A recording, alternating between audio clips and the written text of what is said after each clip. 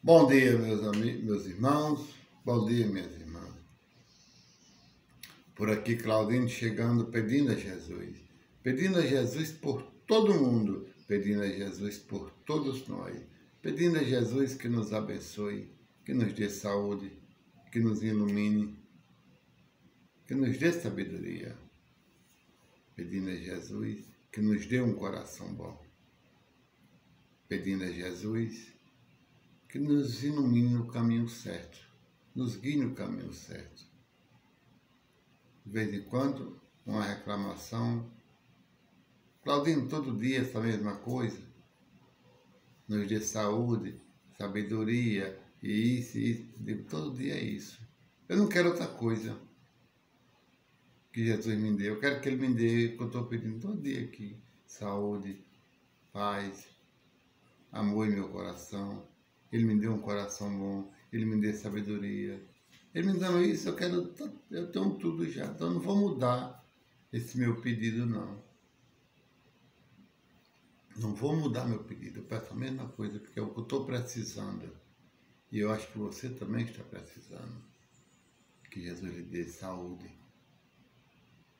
sabedoria, paz na sua vida. É isso que eu peço para todo mundo. Mas se o amigo não quiser isso, não precisa escutar. Eu não estou citando seu nome, não é o nome de ninguém, escuta quem quer. Então, pedir tudo isso a Jesus, continuo pedindo todo dia que Ele nos ilumine, que Ele nos bote no bom caminho. Pedir a Jesus pela saúde de nossos irmãos, pelo nosso irmão que estão necessitando da cura, tem muito irmão nosso necessitando da cura.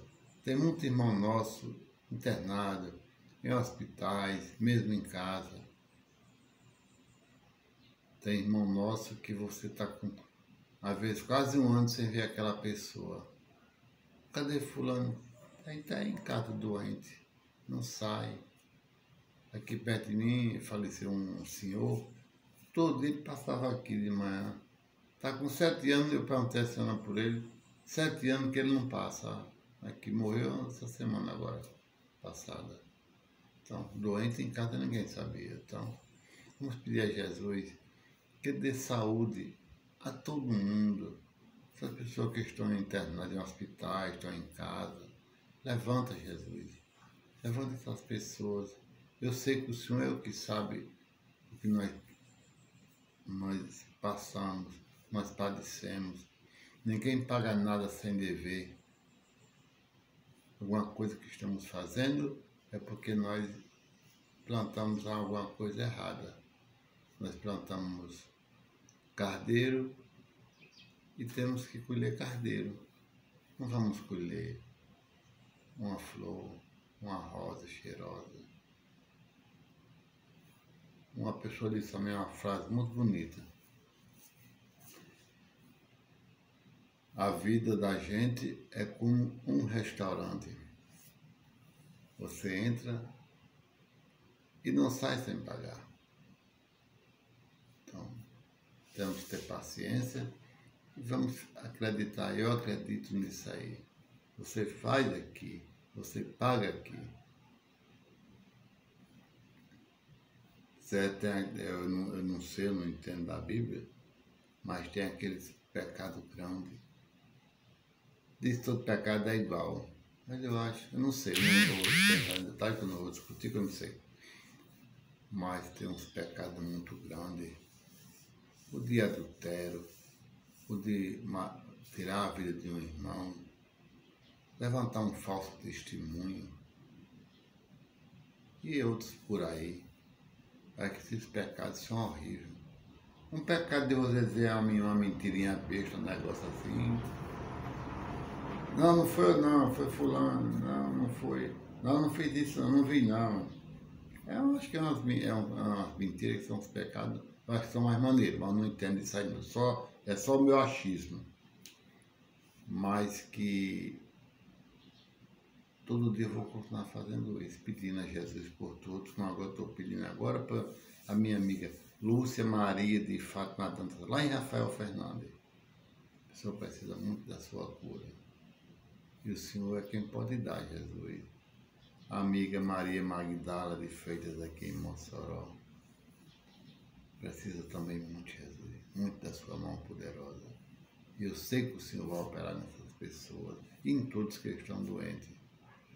Porque tem uma, uma situação, a gente pede, pede, pede, e nós queremos o resultado agora imediato.